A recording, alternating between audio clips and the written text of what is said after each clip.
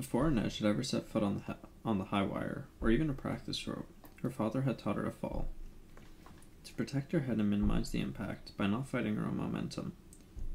Even as the blast from the harbor lifted her off her feet, she was tucked into a roll. She hit hard, but she was up in seconds, pressed against the side of a crate, her ears ringing, her nose singed by the sharp scent of gunpowder. Inej spared Kaz and the others a single glance. Then, did what she did best. She vanished. She launched herself up onto the cargo crates, scaling them like a nimble insect, her rubber soled feet guiding, finding grips and footholds. The view from above was disturbing. The dregs were outnumbered, and there were men working their way around the, their left and right flanks. Kaz had been right to keep their real points of departure a secret from the others. Someone had talked. Inej had tried to keep tabs on the team, but someone else in the gang could have been snooping. Had said it himself. Everything in Ketterdam leaked, including the slat and the Crow Club. Someone was firing down from the mast of the new Fairland. Hopefully, that meant Jesper had made it to the schooner, and she just had to buy the others enough time to make it there as well. Inej ran lightly over the ropes of the crates, tops of the crates, making her way down the row, seeking her targets below. It was easy enough. None of them expected a threat to come from above. She slid to the ground behind two men firing at Nina, and said a silent prayer as she slit one throat, then the next. When the second man dropped, she crouched beside him and rolled up his right sleeve, a tattoo of a hand. His first and second fingers cut off at the knuckle, black tips. Was this retribution for Kaz's showdown with Geels, or something more? They shouldn't have been able to raise these kinds of numbers. She moved on to the next aisle of crates, following a mental map of the others' attacks position, attackers' positions. First, she took down a girl holding a massive unwieldy rifle, then skewered the man who was supposed to be watching her flank. His tattoo showed five birds in a wedge formation, razor gulls. Just how many gangs were they up against? The next corner was blind. Should she scale the cargo container to check her position, or risk what might be waiting for her on the other side? She took a deep breath, sank low, and slipped around the corner in a lunge. Tonight her saints were kind. Two men were firing on the docks with their backs to her. She dispatched them with two quick thrusts of her blades. Six bodies, six lives taken. She was gonna have to do a lot of penance, but she'd helped the other. She'd helped even the odds a bit in the drag's favor. Now she needed to get to the schooner. She wiped her knives on her leather br- breeches and returned them to their sheaths, then backed up and took a running start to the nearest cargo container. As her fingers gripped the rim, she felt the piercing pain bet- beneath her arm. She turned in time to see Oomen's ugly face split in a determined grimace. All the intelligence she had gathered on the black tips came back into her in, came back to her in a sickening rush. Oomen Geels, shambling enforcer, the one who could crush skulls with his bare hands. He yanked her down and grabbed her grabbed the front of her vest, giving the knife in her side a sharp twist. Inej fought not to black out. As her hood fell back, he exclaimed, Gizan, I've got Brekker's Wraith. You should have aimed higher, Inej gasped. Missed my heart. Don't want you dead, Wraith, he said. You're quite the prize. Can't wait to hear all hear all the gossip you've gathered for Dirty Hands, and all his secrets too. I love a good story. I can tell you how this one ends, she said on an unsteady breath, but you're not going to like it. That's so. He slammed her up against the crate, and the pain crashed through her. Her toes only brushed the ground as blood spurted from the wound at her side. Oomen's form was braced against her shoulders, keeping her arms pinned. Do you know the secret to fighting a scorpion? He laughed. Talking nonsense, Wraith. Don't die too quick. Need to get you patched up. She crossed one ankle beneath the other and heard a reassuring click. She wore the pads at her knees for crawling and climbing, but there was another reason too. Namely, the tiny steel blades hidden in each of them. The secret, she panted, is to never take your eyes off the scorpion's tail. She brought her knee up, jamming the blade between Oomen's legs. He shrieked and released her, hands going to his bleeding groin. She staggered back down the row of crates, She could hear men shouting to each other, the pop of gunfire coming in smatters and bursts now. Who was winning? Had the others made it to the schooner? A wave of dizziness rolled over her. When she touched her fingers to the wound at her side, they came away wet. Too much blood. Footsteps. Someone was coming. She couldn't climb, not with this wound, not with the amount of blood she'd lost. She remembered her father putting her on the rope ladder the first time, for the first time. Edge. The cargo containers were stacked like a pyramid here. If she could make it up just one, she could hide herself on the first level. Just one. She could climb, or she could stand there and die. She willed her mind to clarify and hopped up, fingertips latching onto the top of the crate. Edge. She dragged herself over the edge onto the tin roof of the container. It felt so good to lie there, but she knew she left a trail of blood behind her. One more, she told herself.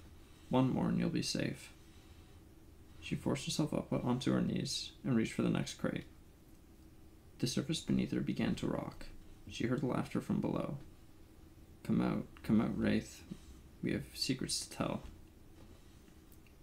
Desperately, she reached for the lip of the next crate again and gripped it, fighting through an onslaught of pain as the container under her dropped away.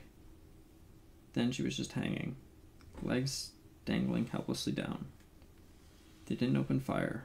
They wanted her alive. Come on down, Wraith. She didn't know where the strength came from, but she managed to pull herself over the top.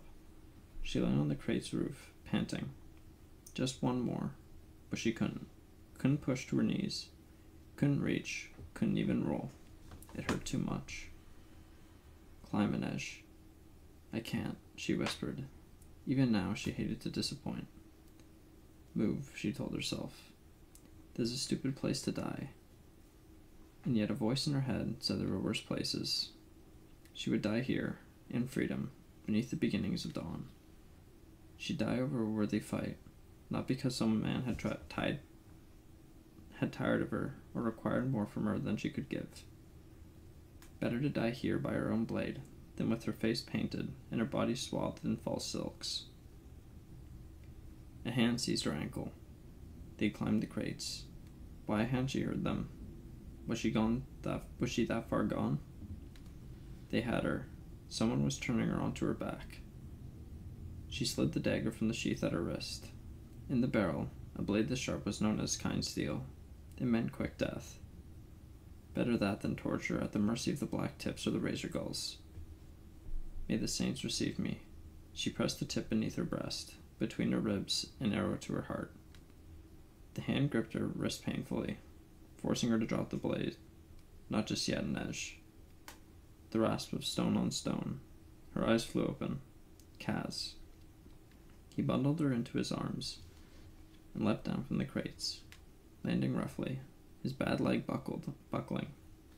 She moaned as they hit the ground. Did we win? I'm here, aren't I? He must be running. Her body jounced painfully against his chest with every lurching step. He needed his cane. I don't want to die. I'll do my best to make other arrangements for you. She closed her eyes. Keep talking, Wraith. Don't slip away from me. But it's what I do best. He clutched her tighter. Just make it to the schooner. Open your damn eyes, Inej. She tried. Her vision was blurring, but she could make out a pale, shiny scar on Kaz's neck, right beneath his jaw. She remembered the first time she'd seen him at the menagerie. He paid Tante Heleen for information, stock tips, political pillow talk, anything the menagerie's clients babbled on about when drunk or giddy on bliss.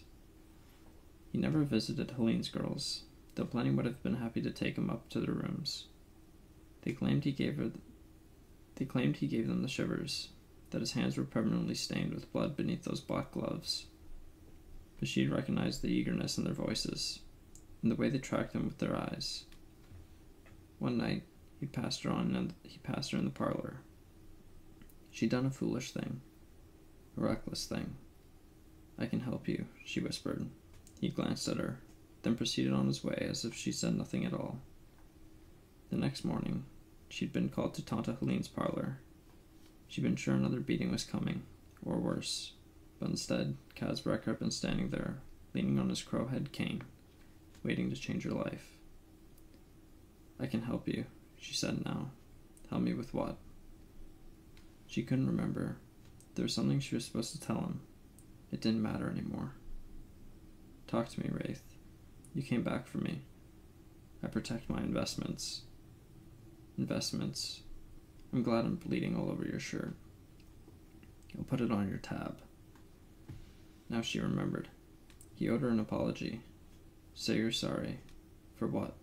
Just say it. She didn't hear his reply. The world had grown very dark indeed. Get us out of here, Kaz shouted, as soon as he limped aboard the schooner with Inej in his arms. The sails were already trimmed, and they were on their way out of the harbor in moments, though not nearly as fast as he would have liked. He knew he should have tried to secure some squallers for the journey, but they were held to come by. There was chaos on deck, people shouting and trying to get the schooner into open sea as quickly as possible. Specht, he yelled, at the man he'd chosen to captain the vessel. A sailor with a talent for knife work who had fallen on, his, on hard times and ended up stuck in the lower ranks of the dregs. Get your crew in shape before I start cracking skulls. Specht saluted, then seemed to catch himself. He wasn't in the Navy any longer, and Kaz wasn't a commanding officer. The pain in Kaz's leg was terrible, the worst that had been since the, he'd first broken it, falling off the roof of a bank near the Geldstraat. It was possible he'd fracture the bone again. Inej's weight wasn't helping, but when Jesper stepped into his path to offer help, Kaz shoved past him. Where's Nina? Kaz snarled.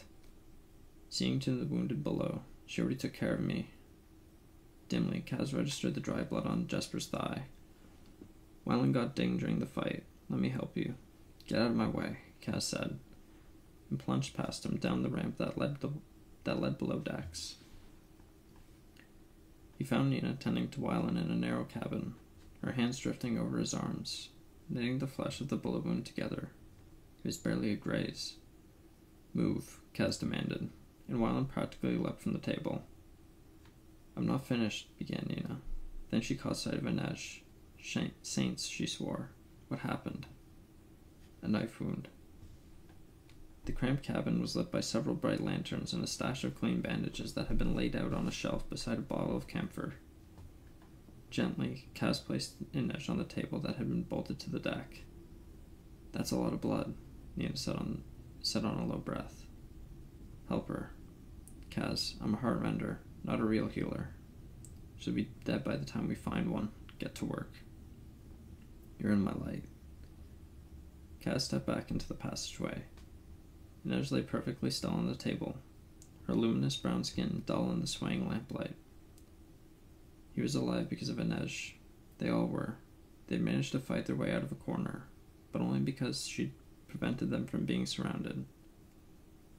Kaz knew death, He could feel its presence on the ship now, looming over them, ready to take his wraith. He was covered in her blood. Unless you can be useful, go away, Nina said without looking up at him. You're making me nervous. He hesitated, then stomped back the way he'd come, stopping to purloin a clean shirt from another cabin. He shouldn't be this shaken up by a dock brawl, even a shootout, but he was. Something inside him felt frayed and raw. It was the same feeling he had as a boy in those first de- desperate days against desperate days after Jordie's death. Say you're sorry. That was the last thing Inej had said to him. What had she wanted him to apologize for? There were so many possibilities. A thousand crimes, a thousand stupid jibes. On deck, he took a deep breath of sea air watching the harbor and Ketterdam fade from view on the horizon. What the hell just happened? Jesper asked. He was leaning against the railing, his rifle beside him, hair disheveled, pupils dilated. He seemed almost drunk, or like he'd rolled around on something on someone's bed. Or just rolled out of someone's bed. He always had that look after a fight. Halvar was bent over the railing, vomiting. Not a sailor, apparently. At some point, they needed to shackle his legs again. We were ambushed, Wylan said from his perch on the forecastle deck.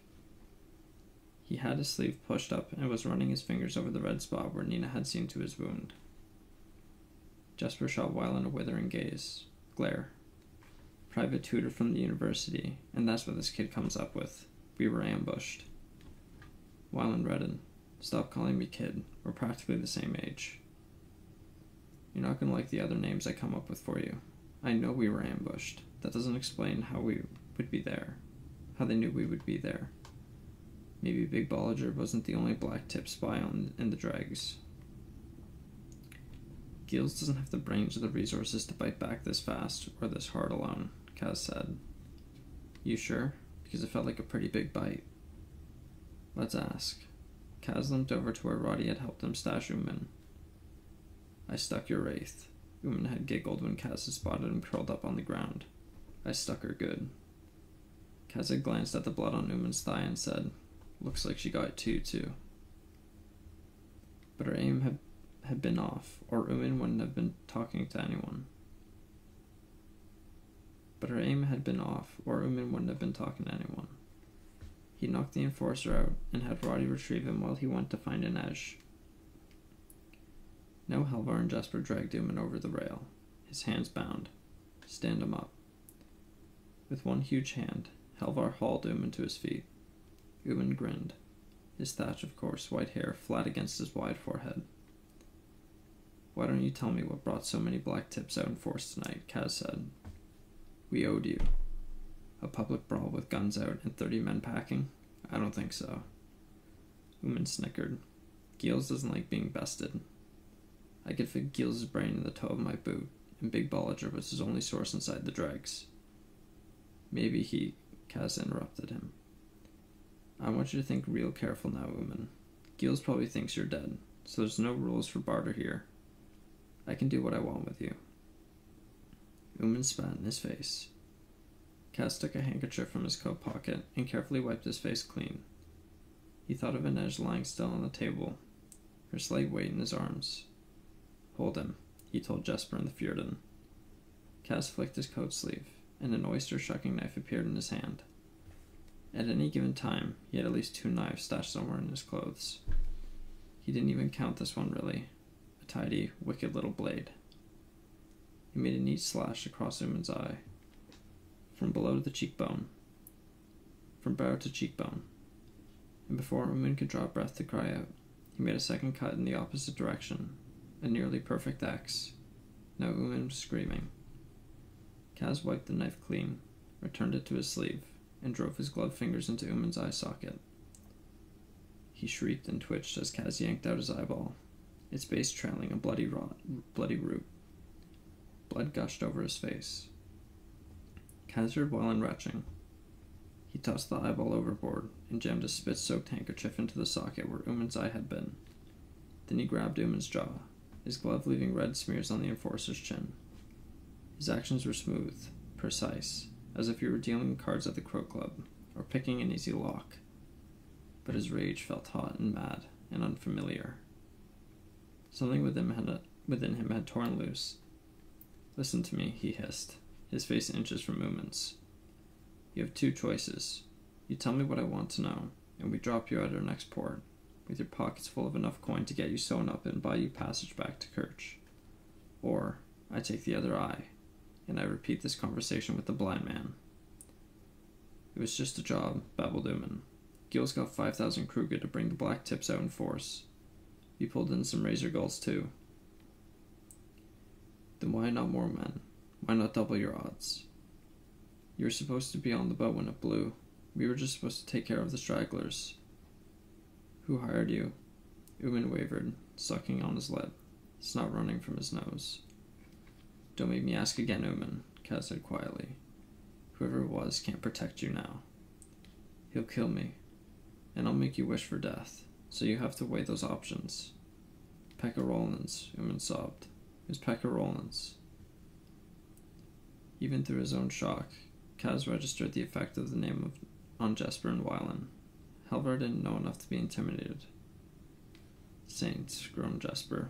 We are so screwed. Is Rollins leading the crew himself? Kaz asked Oomen. What crew? To Fjerda. I don't know about no crew. We were just supposed to stop you from getting on getting out of the harbor. I see. I need a medic. Can you take me to a medic now? Of course, Kaz said. Right this way. He took Oomen by the lapels and hoisted him off his feet, bracing his body against the railing. I told you what you wanted, Oomen screamed, struggling. I did what you asked. Despite Oomen's Navi build, he was deceptively strong, farm strong, like Jesper. He'd probably grown up in the fields. Kaz leaned in so that no one else could hear it when he said, My Wraith would counsel mercy, but thanks to you, she's here to plead she's not here to plead your case.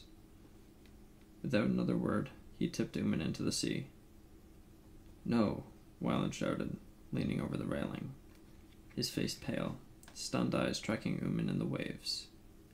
The enforcer's pleas were still audible as his maimed face faded from view.